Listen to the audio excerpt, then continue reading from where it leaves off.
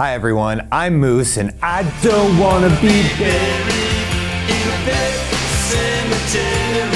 Stephen King's scariest novel is getting another shot on screen, and while fans know that a reanimated cat is far from the biggest threat, there are few things more frightening than when our furry friends turn to the dark side. Killer critters and perilous pets are a time honored tradition in horror cinema, and we're here to help you put them down.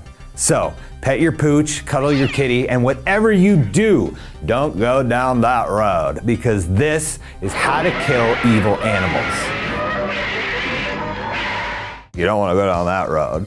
You go down that road, the evil cemetery is gonna, no? Now, before we get started, I want to assure everyone that NowThis Nerd loves animals. This is Will and his little kitty Katsu. This is my sweet baby girl Vanilla Bean. And this is Shane and his fake but no less lovable dog Render. The thought of violence against helpless, adorable creatures utterly sickens us. But when it comes to horror movies, man's best friend can quickly become his worst enemy. So let's start with some very bad dogs. The poster child for killer canines has to be Cujo. You rabbit.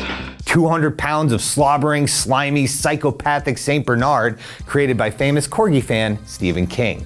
After being bitten on the nose by a bat, this junkyard dog goes rabid and traps Donna Trenton and her son inside their boiling hot car for hours. Faced with the unpleasant prospect of a slow death from dehydration and heat stroke, Donna makes a daring escape attempt and winds up bitten, bloodied, and back in the car. Surely King Staple Sheriff George Bannerman will save the day, right? Uh-uh. Donna makes one last desperate escape attempt, and thanks to adrenaline, maternal instincts, and the possible onset of a rabies infection, she bashes the Bernard with a bat, impales him on the broken stump, and finally sends him off to live with a nice farm family. Now, I'm not sure I would qualify Cujo as a bad dog. From all accounts, he was just a big old friendly goof before fate sunk its fangs into him. But Max, from Man's Best Friend, was genetically engineered for evil. Dog. After escaping from Lance Henriksen's lab, this massive mastiff lives out every dog's fantasy. Woof! Oh, shit! Get away from me! He swallows Cat's whole, gets revenge on that pesky postman. It's your ass, Mr. Postman and marks his territory with a stream of acid urine. Pretty much the only thing he doesn't do is eat a car, and it's not for lack of trying. Being bred for battle, Max is able to withstand damage that would destroy your average pup, but a shotgun blast from his creator ends his tragic existence. Once again, all the carnage isn't Max's fault. Is he going to be a first draft pick for the Puppy Bowl? No, but he's only bad because he was bred that way. If you want to talk about a real hellhound, look no further than Devil Dog. This 1978 movie stars a German Shepherd bred by a Satanist and sold to an unsuspecting family. Unlike our other two subjects, Lucky doesn't need to get his paws dirty. This possessed pup steals his victims' souls and forces them to do his unholy bidding, from setting fires to sticking their arms in lawnmowers. After failing to put him down Old Yeller style, our hero learns that he can't possibly kill the Hellhound, but he can imprison it for a thousand years by holding a sacred symbol up to its eye.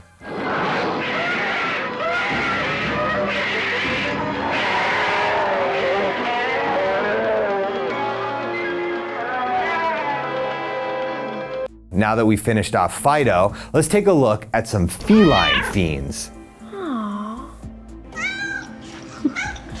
Cats tend to get a bad rap as antisocial, aggressive assholes, but we all know they can be just as loyal and loving as any fluffy puppy.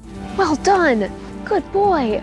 At least in real life. When it comes to horror movies, however, cats are pretty much good for one of two things providing fake out jump scares. What is up with that cat? Is someone throwing it? And tearing out your throat with their razor sharp claws. Now, be warned, we're about to talk about the book and the first Pet Sematary film. The new movie makes a lot of changes, but still, if you want to avoid potential spoilers, you may want to skip ahead. When his daughter's beloved kitty, Winston Churchill, aka Church, gets splattered by a speeding semi, Lou Creed has a hard decision to make. Does he have a tough conversation with Ellie about the finality of death and the unfairness of existence? Or does he plant the body in an ancient Micmac burial ground and hope she won't notice when he returns as a rotten undead revenant? Now, Church doesn't directly kill anybody, but he's definitely an accomplice to the grisly deeds of his fellow zombie Gage.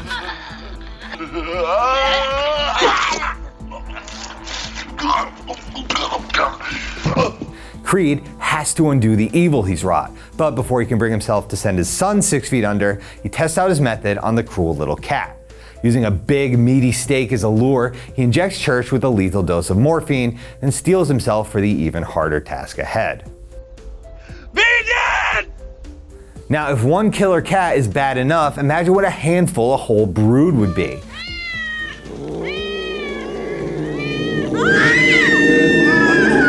In the 1991 made for TV movie called Strays, a colony of feral cats infests a peaceful small town home and menaces the family that dares to move in. We all know kitties can be territorial, but these cats from hell take no shit from their unwanted roommates. Now, to me, it just looks like these guys are being playful and curious, and honestly, for bloodthirsty killers, they seem friendlier than a lot of cats I know.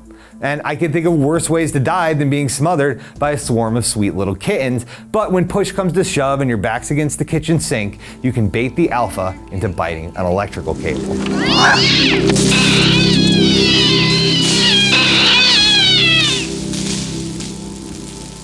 Our final feline fatality comes courtesy of Uninvited, an ultra schlocky alien ripoff about a cruise ship menaced by a mutant cat.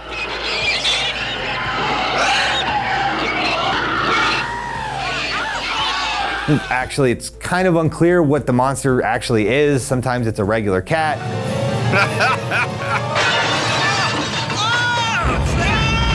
then it has an uglier tiny cat living inside its mouth, and on occasion it just turns into a grody puppet that looks like a reject from Hobgoblins. Hobgoblins, hobgoblins, what do you do with those hobgoblins? Either way, this cat is equipped with more than just claws. It's got toxic saliva that can melt your face off or cause you to blow buckets of blood out of every orifice.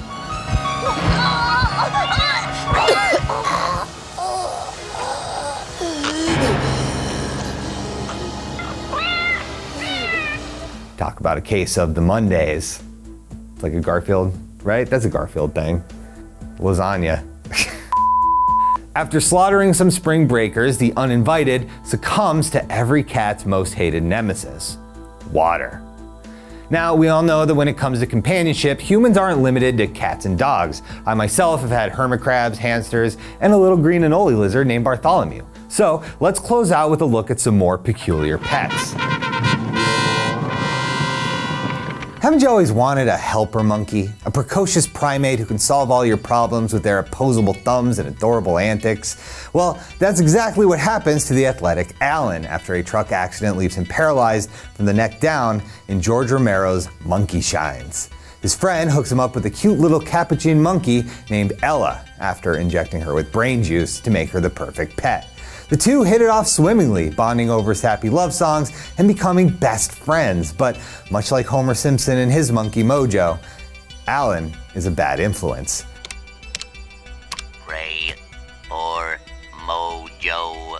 Thanks to her experimental enhancement, Ella telepathically absorbs her master's ill will and goes ape on everyone who's ever wronged him. She starts off slow, killing a bird that pecks her pal's face, but it quickly escalates, and before you know it, this pissed off primate is electrocuting Alan's mother in the bathtub.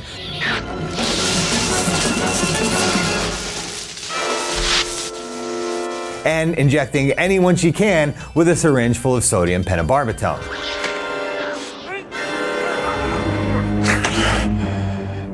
Jesus. After telling his former bestie how he really feels, Don't you love me? Yeah, I love you. Alan lures Ella in with their favorite song, sinks his teeth in, and shakes.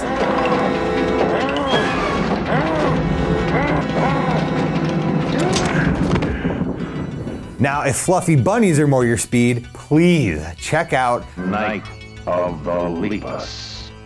I'm personally deathly allergic to rabbits, especially giant carnivorous rabbits transformed by population control gone haywire. These hopping mad hares quickly multiply like, well, rabbits, and before you can say, What's up, Doc, they've mangled an entire mining town.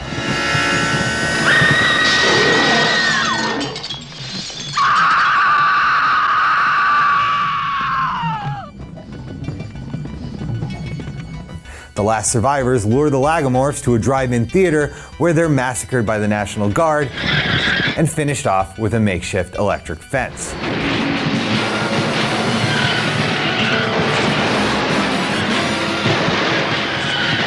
Now, our final example of animals gone awry comes from New Zealand in the 2006 horror comedy Black Sheep. There's a lot to unpack here, but the basic gist is that a mad scientist is hell bent on creating carnivorous sheep that can also turn humans into lycanthropic land monsters with a single bite.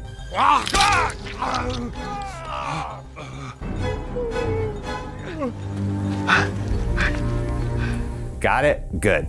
Soon, the ferocious flock is in a full fledged feeding frenzy, but they're still susceptible to the herding instincts of the humble sheepdog. After dicing up the sheep loving dick who started this whole mess, the creatures are corralled, but without enough of the antidote, our heroes are forced to resort to more drastic measures. A fiery explosion set off by the massive amount of methane released by thousands upon thousands of mutant sheep farts.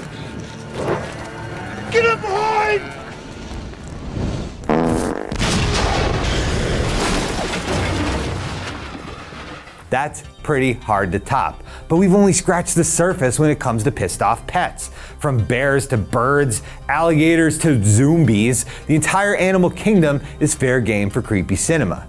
And we love our furry friends, and we would never, ever, ever, ever wish them harm. But as far as horror films go, sometimes. That is better.